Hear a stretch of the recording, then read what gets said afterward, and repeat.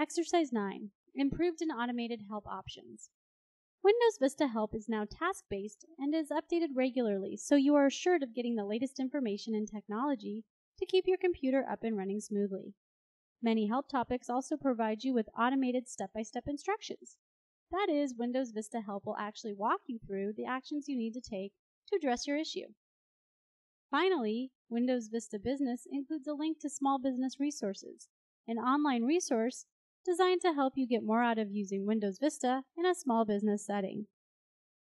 Many people know that Windows includes an extensive collection of help articles that describe how to perform many tasks.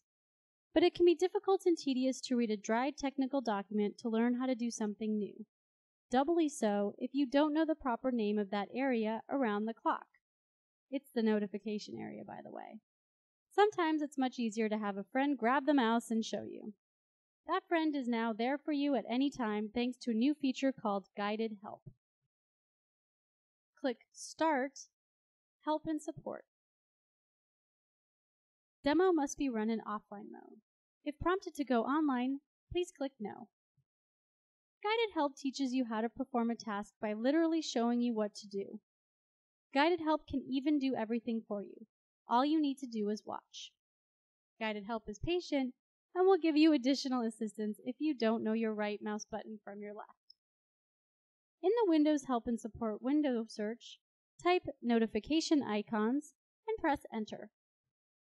Select the second result, Show All Icons in the Notification Area System Tray. In the topic, select Show Me Step by Step.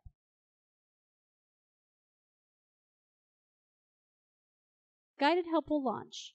This will be a little slow, so please be patient.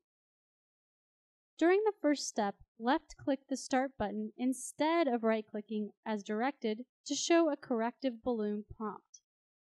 Complete the task as directed.